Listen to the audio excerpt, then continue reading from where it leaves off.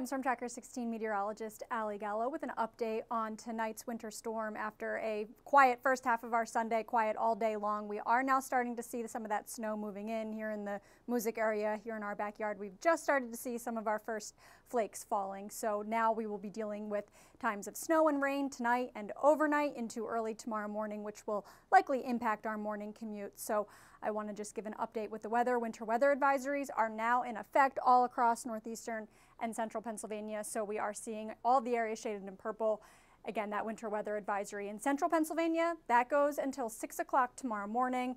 Farther east in eastern Pennsylvania, that's go going to go until 1 o'clock tomorrow afternoon. So this storm actually tapers off from west to east. So again, the morning commute will be impacted. Definitely expect some delays tomorrow morning as the system pulls away, but we do see that change over back to snow before that happens. So here it is on satellite and radar again after a dry all day long morning and early afternoon. Now we are seeing that precipitation moving in. So everything right now is on the lighter side. We're seeing uh, some of that light snow in central Pennsylvania, central Pennsylvania, parts of Clinton and like Lycoming County, the northern parts of both of those counties now just getting ready to move east into the Towanda area. So the western part of Bradford County seeing some of that snow starting to fall.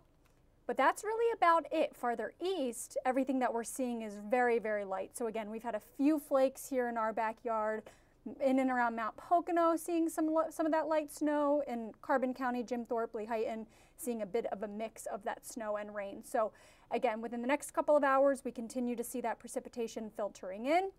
And then overnight tonight, that change over to mainly plain rain. So timing it out, future clouds and radar Again, a couple of hours of snow, especially in central Pennsylvania. So by 6, 7, 8 o'clock, we are starting to see that precipitation continuing to move east.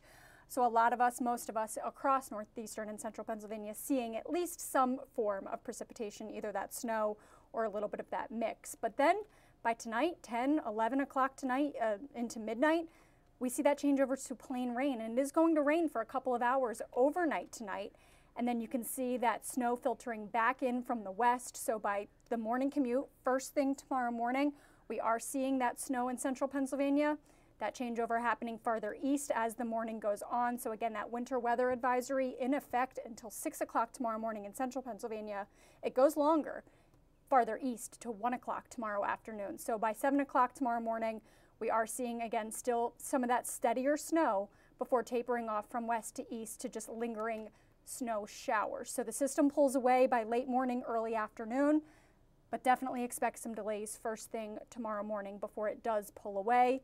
As far as snowfall totals go, still thinking a general one to three inches for uh, most of us, you can see especially farther south, but across our northern tier, highest elevations, that's where that higher range of three to six inches, again, where that changeover to rain takes a little bit longer, and then when that changeover to snow, back to snow tomorrow morning happens, I think we'll be picking up just, uh, again, some, some of those higher snowfall totals, closer to that six inch in that range for those highest elevations across our northern tier.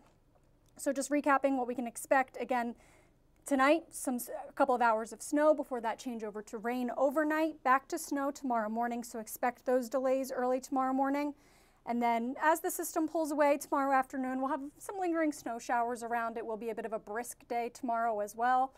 Quiet on Tuesday before our next storm brings another round of a mix of rain and snow come Wednesday. So temperatures right now in the 30s all across the area, but keep in mind those highest elevations. So places like Blakeslee, Hazleton, Sayre, all seeing that 32 degrees. 37 now in Scranton, 37 in Williamsport as well. It's 36 currently in Bloomsburg. So temperatures tonight will hold steady, dropping a couple of degrees overnight tonight, then starting to rise towards tomorrow morning. And then there's a look at your forecast for your Monday. Again, kind of holding steady right in the low to mid 30s for those temperatures. So snow in the morning, that steadier snow in the morning, becoming, becoming more scattered snow showers by the afternoon. The rest of tomorrow is cloudy, a bit brisk. We'll have a, a wind that shifts out of the northwest, so it's going to average up to about 10 to 15 miles an hour by tomorrow afternoon. So a bit of a brisk day tomorrow. Again, that steadier snow in the morning, but cloudy through the rest of the day. So here's the seven day forecast.